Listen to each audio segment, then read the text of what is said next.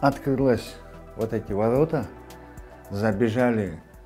Ну, я так, как, как я понял, это командиры свое лицо прятали. Жестко, жестко, вот это, вот это, вот это. Ну, указывали, кого бить, кого стрелять. И вот первый, кто к нам подбежал, Нурбек Байке, я не знаю, как его фамилия, он, Касымов, да?